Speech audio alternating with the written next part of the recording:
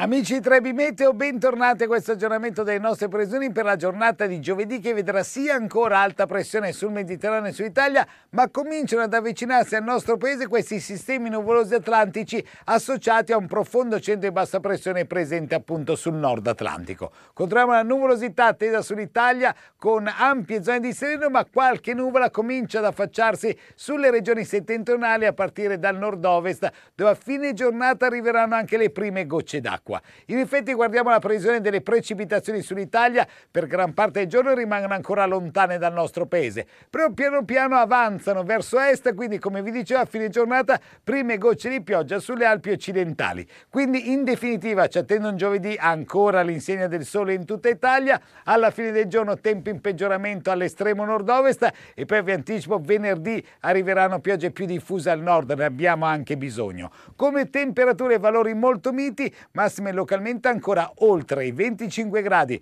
Per sapere comunque cosa accadrà appunto anche nelle giornate successive consultate l'app gratuita di Trebi Meteo.